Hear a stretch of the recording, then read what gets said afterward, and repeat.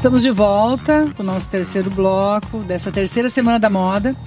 E nos acompanhando aqui agora, a Tati, Bernardo, sejam bem-vindos e vamos dar continuidade então é, nesse nosso programa, né, Eliane, que é moda, modos de agir, viagens, enfim.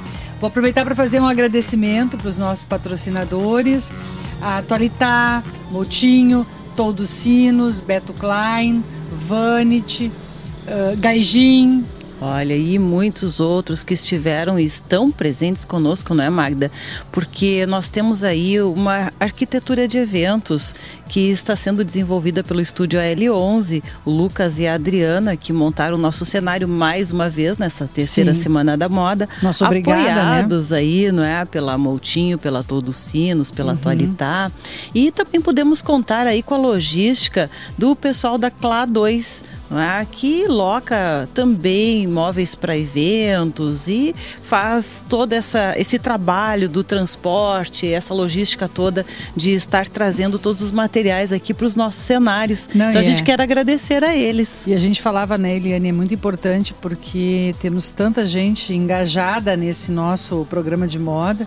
Temos também o pessoal da Labote, muito obrigado, Casa dos Vinhos, né? Nos prestigiando aí com os espumantes para os nossos convidados hoje Aliás, também. eu não conhecia Ponto Nero. Maravilhosa espumante aí, delícia. Não que eu conheça tanto assim, mas uh, me chamou muita atenção, né?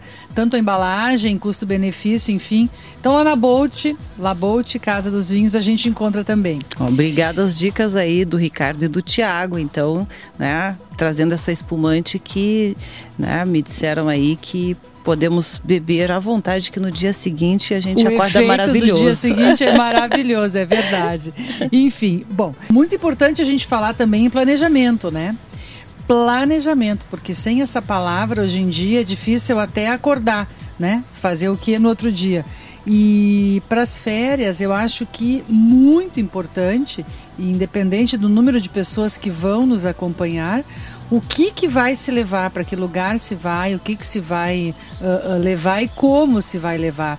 Então, eu acho que o Bernardo, né, Eliane, nada melhor do que o Bernardo que trabalha com isso há anos, com malas, com acomodação, Bernardo, para nos poder nos dar algumas dicas a respeito disso, né? Pois é, eu já quero aproveitar e dizer para o Bernardo que aqui em casa sempre é uma briga, né? Porque as mulheres saem com muitas malas e os homens saem com aquela malinha, não é? Que até caberia dentro da nossa mala, não é? Ou às vezes a, a, gente ainda põe alguma coisa da gente na mala deles que é pequenininha, né? Mas como é que é isso aí, não é? Como é que é, rola isso aí na hora que o pessoal vai lá comprar malas? É, vai buscar as suas bolsas de viagem, porque vocês são experts nisso, né? A Beneste tem aí para todas as necessidades e não só para as viagens de turismo, mas também para as viagens de negócio. Então, olha, é o cara aí que entende de malas e dos gostos aí masculinos e femininos, né, dentro desse segmento. Então, muito obrigada pela tua presença hoje conosco e conta aí para nós. Ah, muito obrigado pelo elogio, que eu entendi da mala. Só que assim, uh, viajar é, requer uh, uma experiência que às vezes as pessoas não têm. Vão viajar e se ver por como que vão armazenar a roupa, o calçado, às vezes até um porta-terno.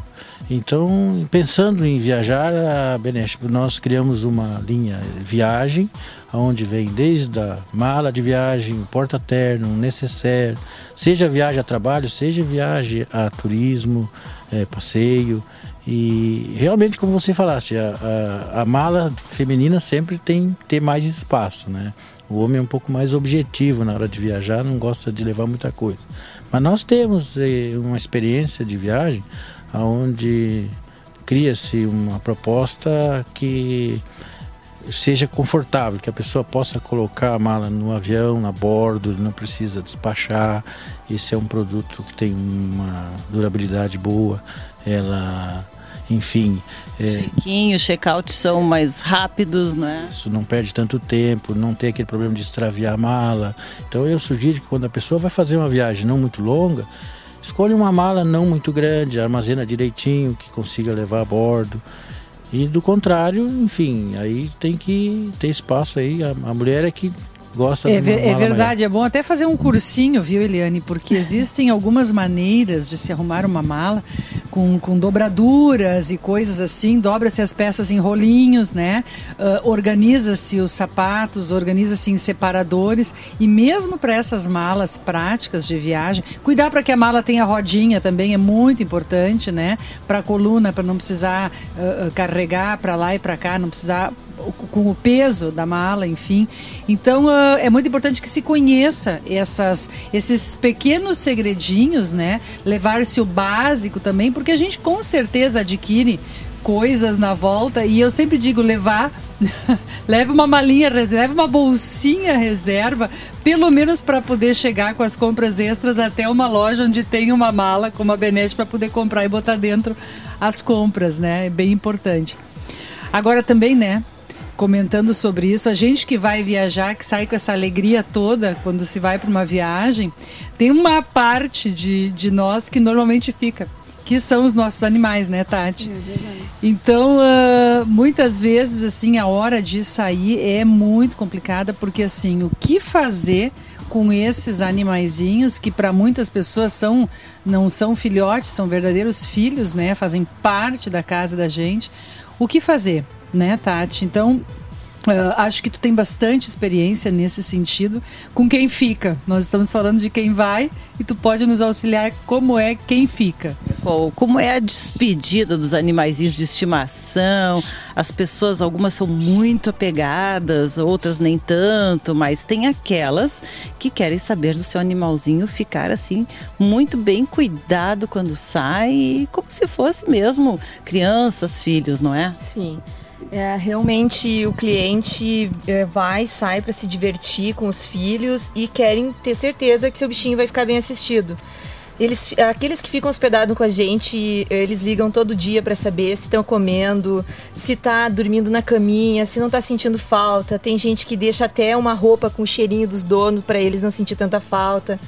E realmente, e se determinar que vai levar junto, tem todo um processo de vacina, caixa de transporte, atestado médico para viajar, para embarcar, dependendo do país, até uma negativa de antirrábica. Então tem que realmente tomar providências, assim como tu planeja a tua viagem, tu tem que planejar a vida do teu bichinho.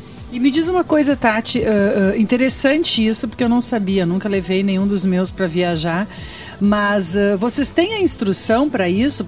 Assim, ó, normalmente o cliente já faz tudo no PET, né? Os nossos clientes a gente organiza tudo, já consulta, uh, verifica se a carteira de vacinação está em dia, uh, vai para o aeroporto, já pega a negativa, a ficha dele de embarque, preenche tudo, uh, faz o cálculo de, do tamanho dele para o tamanho da caixa de transporte. A gente já organiza tudo para o cliente.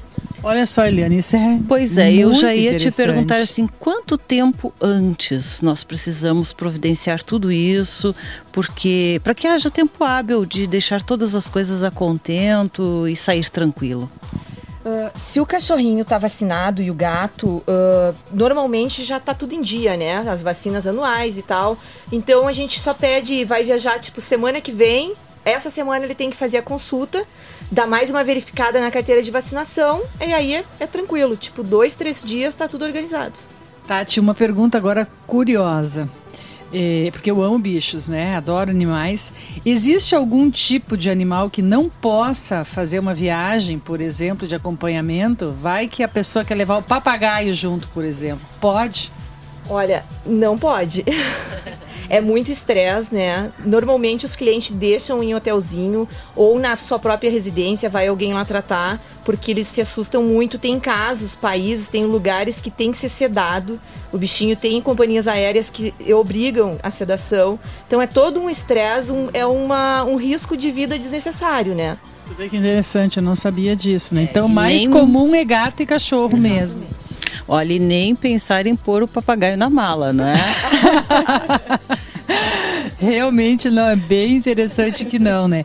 E normalmente existe um tempo assim, uh, uh, eles, eles suportam bastante, mesmo uma viagem mais longa, Tati, não, não, é, não há necessidade de sedação? Uh, a gente pede assim, ó, uh, se nunca viajou, dá um Dramin, um, um, remedinho bem leve, bem suave, ou um floral, para deixar ele tranquilo, né? E pôr alguma coisa dentro da caixa de transporte que ele goste, um brinquedo, uma camiseta do dono, que tem o cheirinho do dono, para eles ficarem mais calmos. Brinquedo preferido. Isso é. funciona, é. é. Tu vê que é, é, psicologicamente é mais ou menos como tratar uma criança, né?